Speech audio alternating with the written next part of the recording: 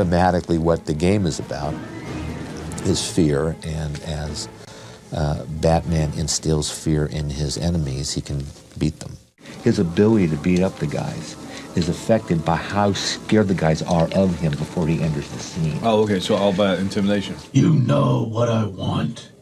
The more he's intimidated, the less Batman has to do. Ah, I like that, yeah. If you know Christian Bale's work, and what's so great about him is he's just a spectacular actor. By the same token, he's got a big presence. So, tell me about the rabbits. Can you be more threatening? Tell me about the rabbits. You want Bruce Wayne as Bruce Wayne, and you want Bruce Wayne as Batman to also have a big presence. So Christian Bale's perfect from that standpoint, and also we had a lot of spectacular actors besides Christian. Computers never came into my generation. I, my generation, I never had a television until I was 35. We have a computer in our house, and I know what it looks like, and I know which room it's in. I'm still trying to get email on, on mine. My wife has to do that.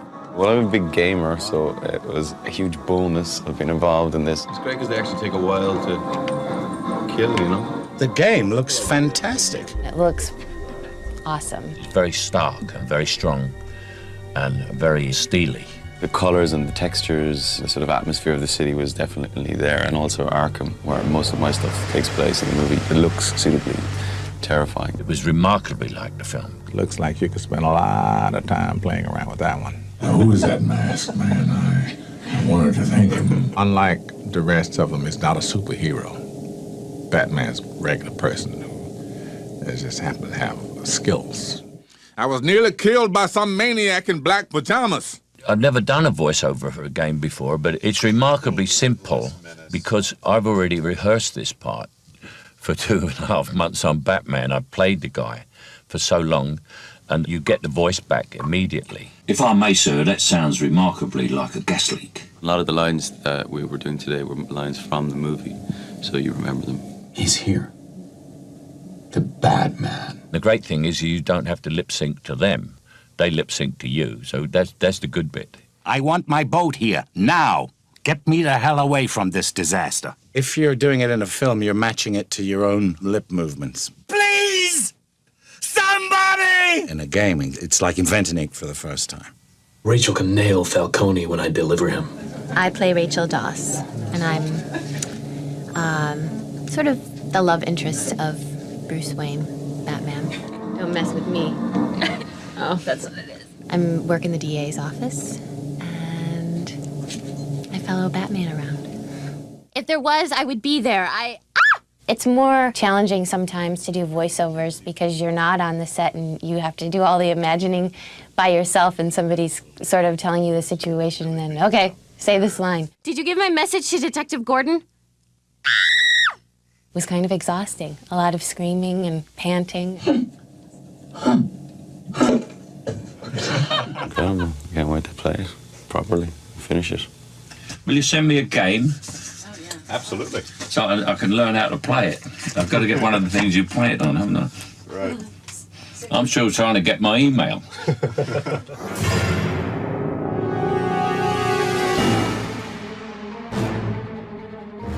The role of DC in a project like this is to connect the video game team with their creative imagination, with the movie team, and with the rich history of the character.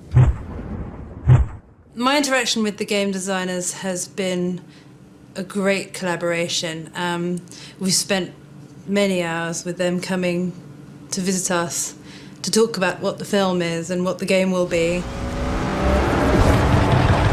I think one of the key things that we were able to supply the game creators was access to every department head. Hello, how, are you? Good to see you. You too. The game designers spent a long time on set with Wally Pfister, our DP, and with Nathan Crowley, our production designer. They were able to see the designs, they were able to see the progress to production. Gosh, that is brilliant. It's good, isn't it? That is just brilliant, isn't it? So we couldn't have done that without the stuff that you gave That's us. exactly So right. they, they build it off of those things. And it does look similar to what we've been It really does. Yeah. No, it really does. Well, that's good. The game recreates the look of the film very, very well. When it dealt with the backgrounds and the locations, the set design, and worked with uh, Nathan Crowley. I'm responsible for the entire look of the film from sets to choosing locations with the director to designing the Batmobile, all the design elements. The mood of the game seems to reflect what we're doing on the on the movie itself. The lighting of the interior environments and the sky and the look of the sets. The folks were very respectful to the color palette as well, which makes a big difference to us as filmmakers. We wanted to make sure that the two worked hand in hand, and um, that, ex that experience has worked well. The game is getting closer and closer to, to what we've designed. I'm amazed at how much the technology allows the video game to capture as rich a feeling as film does. I was amazed when I first saw bits of the game and how incredible the animation is and the movement of, of the Batman character. And it seems that that's been eh, very respectful to what Paul Jennings has done in the fights he's designed in this film. The game designers spent a long time talking to our stunt coordinator, Paul Jennings, um, in an attempt to sort of mirror the Batman's fighting style. In terms of the actual combat and the fighting moves and the finishing moves that Batman uses in the game, they're very similar to what we use in the film. The difference is that in order for Batman to cover distances in the game between characters he's fighting, we've got more gymnastic elements and more kicking movement in order for him to be able to reach his opponents quickly. When Batman's in a situation, if he can headbutt someone, that's what he'll do. No, I'm a hell of a lot worse. If he can elbow someone, that's what he'll do. He'll nail the guy. Almost every element of the game is drawn from the film, so we're really happy that the, the game um, looks as much like the film as it possibly could. You know, I think it's a really enjoyable game, and I can't wait to play it from beginning to end.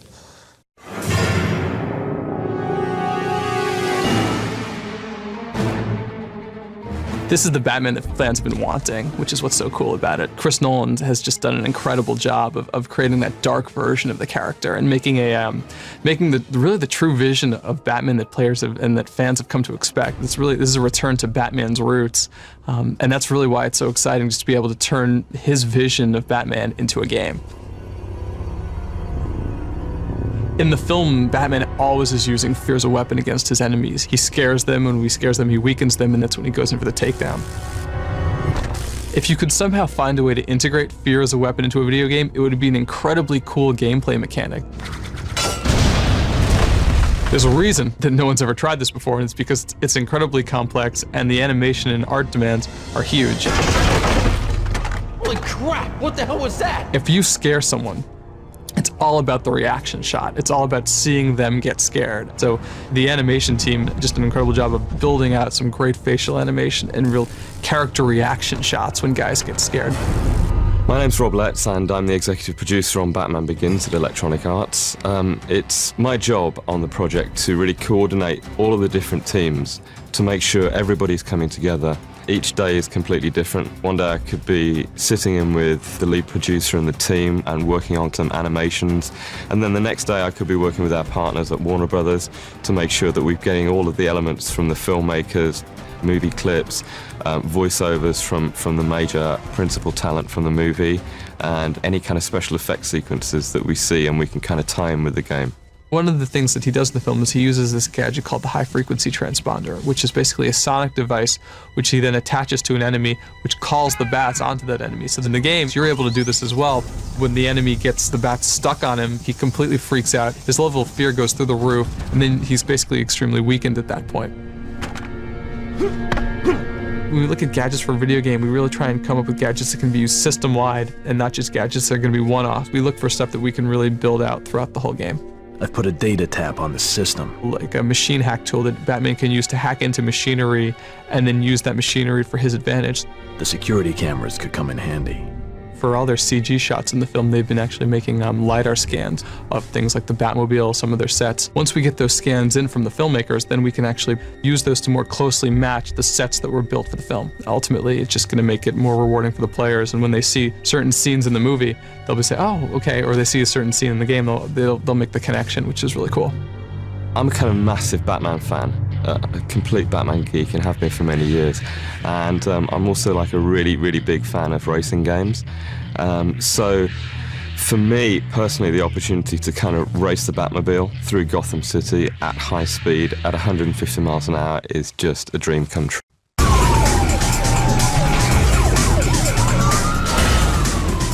As the filmmakers were, were shooting the film, the car really began to take on a life of its own, and we realized pretty early on that we had to make the Batmobile a key component of the game.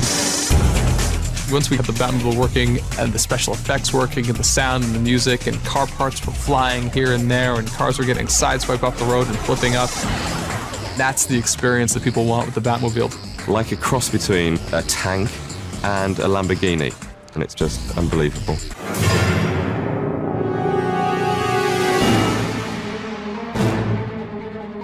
I came to realize that I had been put in charge not of a fictional character, but of postmodern folklore.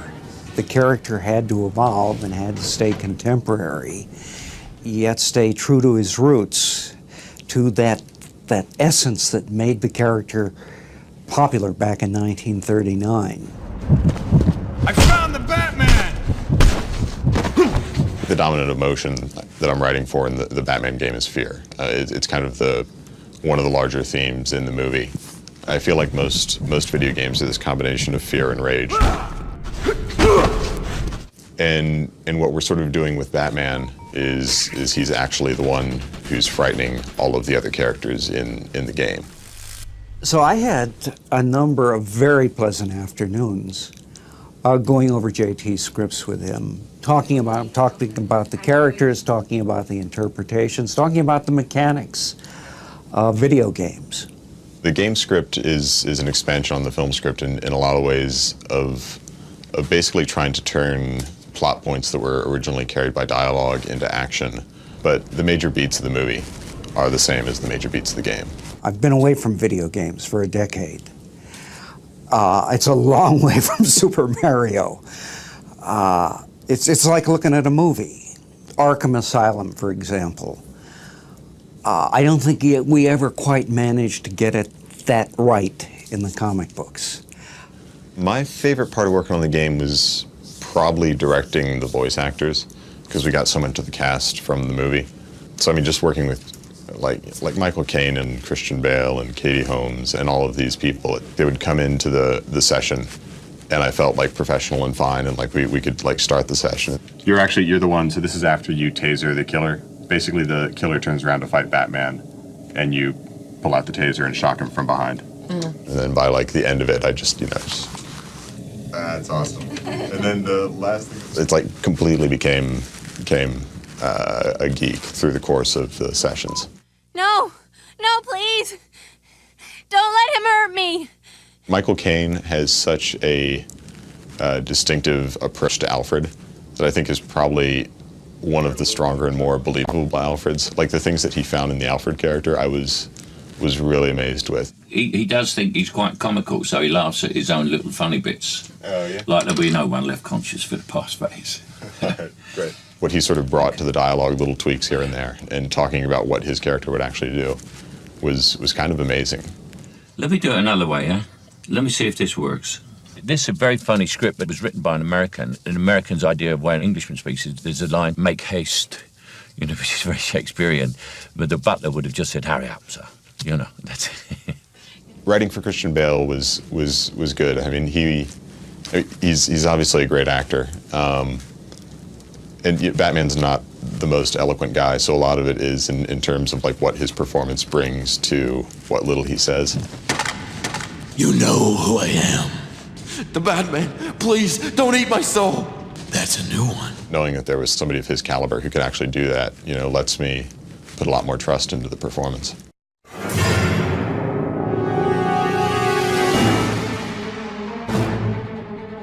One of the biggest challenges we had with Batman as a game was it wasn't enough to create a beautifully polished, fun game that follows the movie. We had to do something that players wanted to pick up the joystick and the controller over and over again.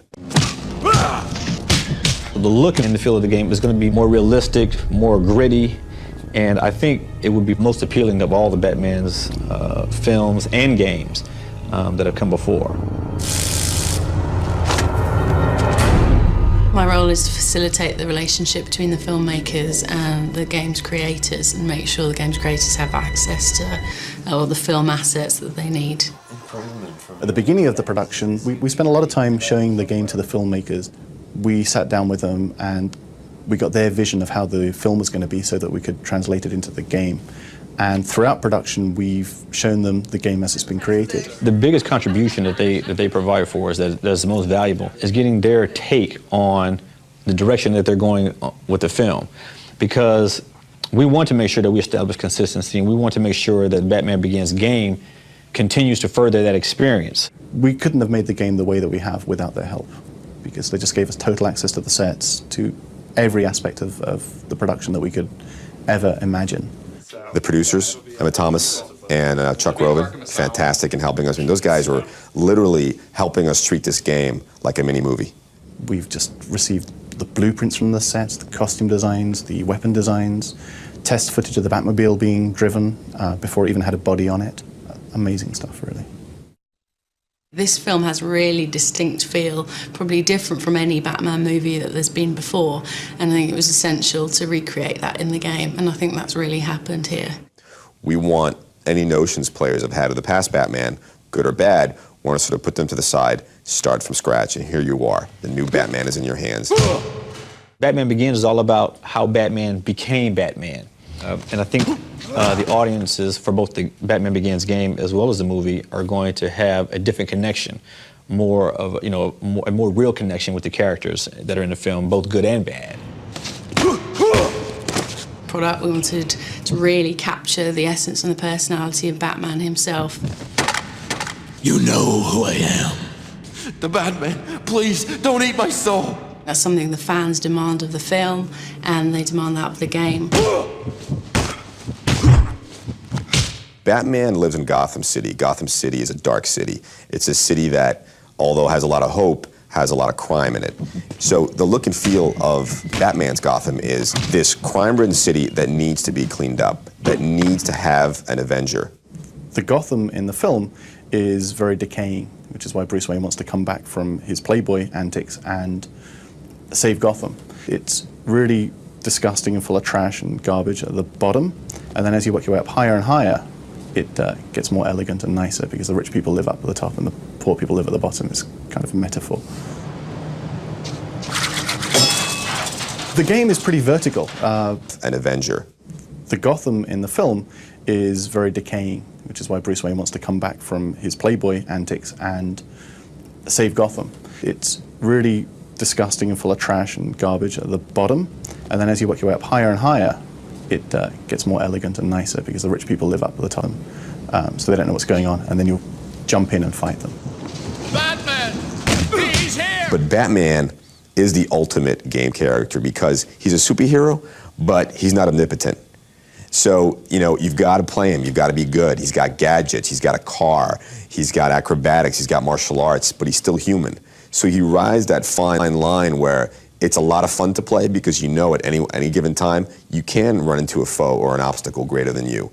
Yet, if you're really good at what you do, you'll overcome it.